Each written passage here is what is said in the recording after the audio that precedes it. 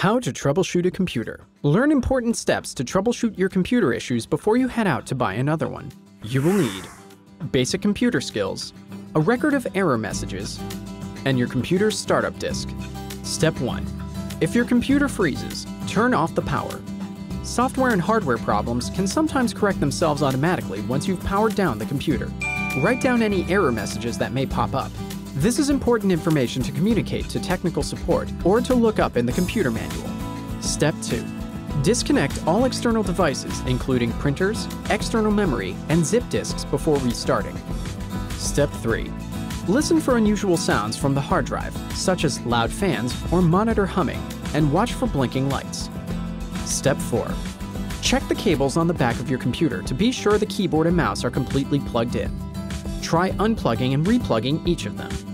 Run ScanDisk on your PC and defragment regularly. Use a defragmenting or optimization utility for a Mac. Step 5. Start Windows in safe mode by hitting the F8 key at startup. If using a Mac, hold down the Shift key as soon as you hear the startup tone, and release when you see the Apple icon and progress indicator, or spinning gear. Step 6. If restarting fails, start the computer from the startup disk that it came with. Step 7. Uninstall or remove any newly installed software or hardware. Reboot and try installing it again. Did you know? Positions involving network and administrative technical support are growing faster than other jobs on average.